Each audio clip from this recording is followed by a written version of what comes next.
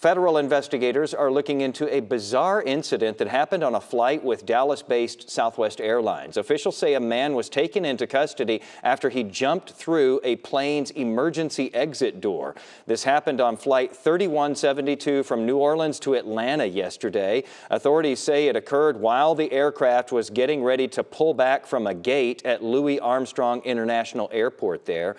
The man was able to get onto the wing of the aircraft and was later on the tarmac, according to the Jefferson Parish Sheriff's Office.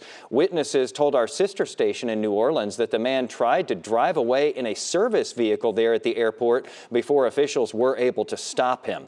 Now, that flight's departure was delayed by nearly three hours because of all of that. As of right now, the man is not facing any criminal charges. He was taken to a hospital, though, for an evaluation.